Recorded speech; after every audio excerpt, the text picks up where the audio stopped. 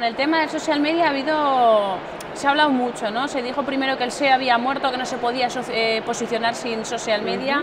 Ahora se dice que el social media no va a ningún lado si tú no pagas los anuncios. ¿Realmente qué hay de cierto en esto? Eh, es complicado, es complicado y de hecho no soy una profesional de, SEO, que es algo que he comentado también en la ponencia. Eh, no lo sé, se especula tanto con todos estos temas, también se habló de que los blogs habían muerto, de que las newsletters han muerto, han muerto tantas cosas pero siguen vivas que la verdad es que yo creo que es más un afán de intentar evolucionar y intentar buscar otros caminos más que otra cosa, la verdad. O sea, que en realidad nos empeñamos en matar a las cosas, pero siguen vivitas y coleando, ¿no? Siguen vivitas y, en general, eh, bajo mi punto de vista, lo que es el entorno 2.0 va a seguir funcionando. No va a haber un retroceso en el que volvamos al mundo analógico, no tengamos plataformas sociales, no va a ocurrir. O sea, las plataformas han llegado para quedarse, ya sea un Facebook, un Twitter de turno o plataformas que surjan en el futuro. De hecho, ya hemos visto algunos eh, pues, eh, partners que ya han dejado de funcionar y como Posterus, por ejemplo, que ya no, ya no funciona y yo, por ejemplo, era usuaria, pero saldrán otros, surgirán otros y seguiremos interactuando de la misma forma. De hecho, eh, hubo mucho follón cuando Facebook cambió hace relativamente poco ¿no? su, su manera de funcionar y hmm. lo que la gente se quejaba es que realmente si no pagas, no estás. Sí, eso es un problema, en concreto con, con Facebook. Eh, porque para las páginas de empresa te cambian el algoritmo y no sabes cómo empezar a trabajar, porque además suele ser pues prácticamente sin aviso y tienes que sobreponerte un poco pues sobre la marcha. Es muy difícil y la verdad es que nosotros hemos visto descender el nivel de interacción de una forma alarmante a raíz de este cambio. Todo indica que los modelos están buscando que se vayan a términos de pago, pero, pero bueno, obviamente no hay nada oficial, no hay nada escrito y son solo nuestros indicios, lo que vemos por cómo están funcionando las páginas. Un poco parece que todos siguen la estela de Google, ¿no? Google mete un algoritmo nuevo, rápidamente todos tenemos que adaptarnos, ahora Facebook juega ese juego, todos tenemos que adaptarnos, ¿quién va a ser el siguiente Twitter?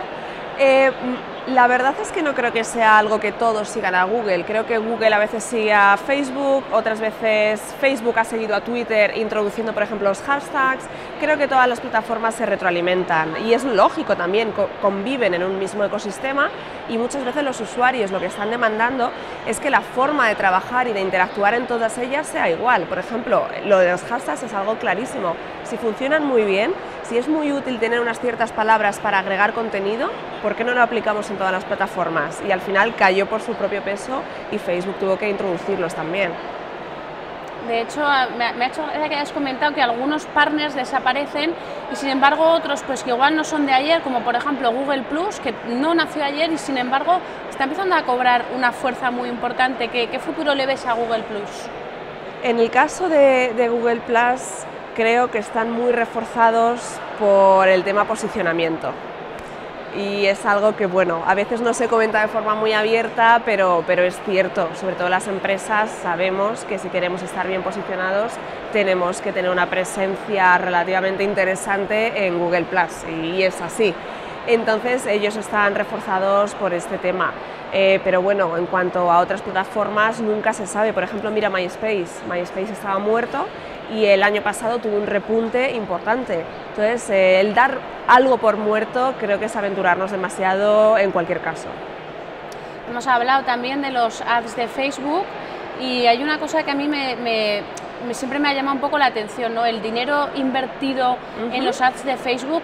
No puede ser que igual sería mejor invertir en CPC en Google, porque al fin y al cabo la gente a Google va a comprar y a Facebook va a pasar el rato. Depende tanto de cuál sea tu objetivo a lo mejor no quiero que compren, a lo mejor quiero dar a conocer un programa de intercambio que tengo con otro país, a lo mejor quiero dar a conocer un premio, un reconocimiento que me han otorgado, a lo mejor solo quiero interacción en mi comunidad y quiero llevarles a un portal de gamificación.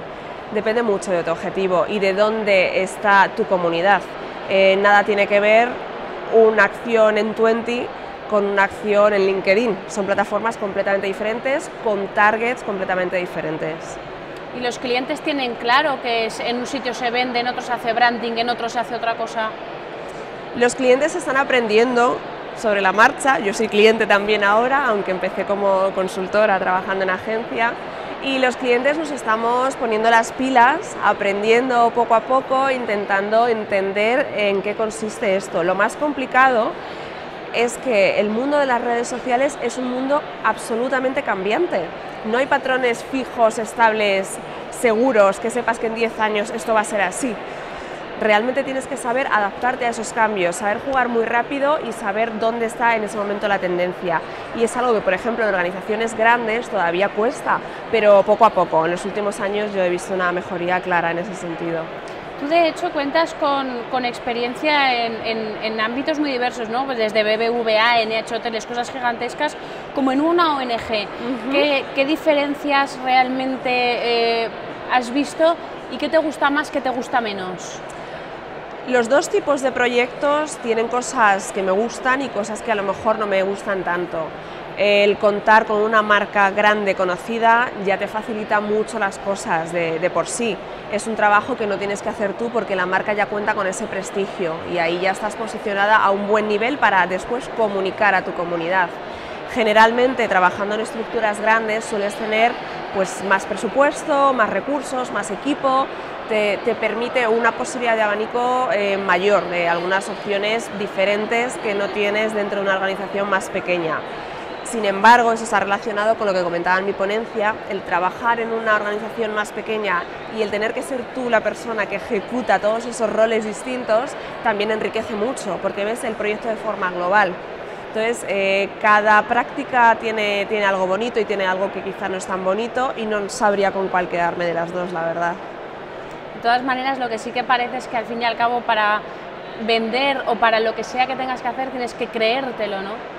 Siempre, por supuesto, pero esto no es ahora, esto viene de la comunicación comercial de toda la vida. Lo importante es eh, creértelo y sobre todo la información, que es algo que destaco mucho. Tienes que conocer tu producto, tu producto, tu marca, tu cliente. Tienes que saber lo que estás comunicando, para quién lo estás comunicando y con qué objetivo. La, la información es poder, como se suele decir, ¿no? En este caso, la información te capacita para llegar a conseguir tus objetivos. A la hora de, mirar esos objetivos, los objetivos pueden ser diferentes, ¿no? ¿Qué es más fácil, gestionar una marca o vender pura y duramente? En entornos sociales hoy por hoy, gestionar una marca, claramente. Eh, es complicado, como decías, todavía y sobre todo en este país sacar a la gente de entornos sociales y llevarles a sites de ventas y la verdad es que algunos pilotos que se estaban ejecutando, por ejemplo en Twitter, para que tuviesen integrados ya los sites de e-commerce, eh, pues no han llegado aquí. Entonces, es algo que va más lento de lo que todos pensábamos que iría. Es algo que supongo que llegará a estar mucho más desarrollado de lo que está en este momento, pero por supuesto, para mí, comunicar, vender tu marca es más sencillo que conseguir leads de venta directos. Entonces, para, digamos que las claves para, para, vender pasan primero por, por hacer otro tipo de tareas, ¿no? Sí, una gestión combinada, por supuesto, una gestión combinada. Y depende, sé que he dicho muchas veces esta palabra a lo largo del día, depende, porque es cierto, todo depende mucho del entorno. Nada tiene que ver si estamos trabajando con un negocio e-commerce, una pyme e-commerce de una startup que tiene muy poquitos empleados, que solamente tienen el foco en esa página web por la que quieren vender y su fuerza de venta que pueden tener en canales sociales va a ser importantísimo. Sin embargo, si hablamos de una gran empresa que ya tiene otros canales de venta súper sólidos, va a costar mucho que las redes sociales lleguen a nivelarse.